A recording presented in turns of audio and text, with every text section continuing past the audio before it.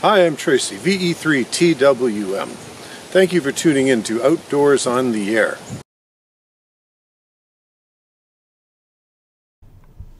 Today's video is going to be very brief and to the point. Herein you'll find a useful lesson you can carry forward. Many of us have invested a fair bit of money into our HF portable equipment. In fact, it was the high cost of a good quality HF portable rig that kept me out of the game for many years. Knowing that, you need to ask yourself if you are taking enough care of your precious gear. Remember, one of the reasons many portable enthusiasts engage in this facet of the hobby is in the name of emergency preparedness. If the time comes when your community needs you to be ready, will your gear be all set to go?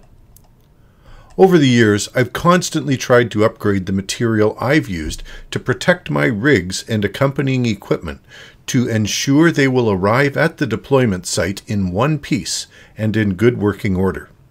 In the early going, I used with some success a laptop backpack.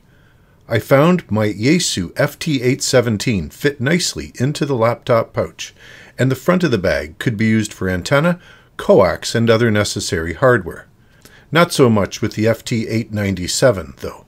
I could fit the 897 into the backpack, but the fit was tight enough that I knew the rig could be damaged if the bag impacted the ground or other objects while on the way to and back from the operating location. This situation led me to purchase these protective cases that guarantee safe transit for the goods inside. To further safeguard the rigs, I inserted silica gel bags into the watertight cases to keep moisture from getting trapped inside and causing damage to my expensive cargo. I got to a point where I considered myself well prepared.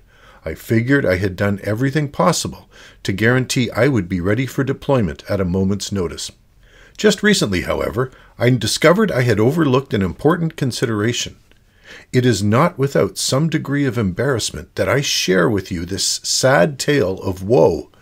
I am embarrassed not just for knowing that clearly my knowledge set in this area was not as complete as I thought, but that I had completely disregarded such a simple matter in my preparation process. Once my HF portable transceivers are safely home after a deployment, I set them up in a place of honor on my desk in the basement office. For base operations, my ICOM IC7410 takes precedence due to its more advanced feature set and more ergonomic design. The portable Yaesus are rarely used in the home shack. To protect the 817 and 897 against dust, I cover them. It's late January now, deep into the Canadian winter. Due to a heavy work schedule and family obligations, I have not been outside operating HF Portable since late October. These two fine radios that have served me so well in past years have not been taken outside to do what they were built to do in all that time. This past weekend, while doing some shack cleaning, I removed the dust cover to check on the rigs, and to my great horror, discovered the issue I am about to share with you. I will warn you in advance. What I am about to show you is uncomfortable to view. Yet I feel the sight of this is valuable information for any who like to venture outside with their portable equipment. Brace yourself. It's a difficult lesson, but through this experience I have learned it well. Please don't let this happen to you. If you have portable gear, get it outside and put it to use. Don't mistreat your loyal companions. Don't be accused of portable gear abuse. That's all for this time. Get out of the shack, get outdoors, and get on the air. 73 from Tracy, VE3, TWM.